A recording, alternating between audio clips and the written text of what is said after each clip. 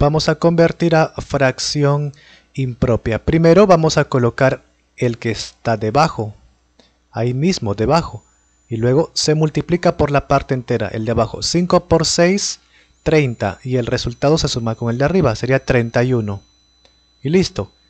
La misma idea debajo, el que está debajo sigue abajo, ahora multiplicas acá. 1 por 8, 8. Y eso sumas con el de arriba. 8 más 1, 9.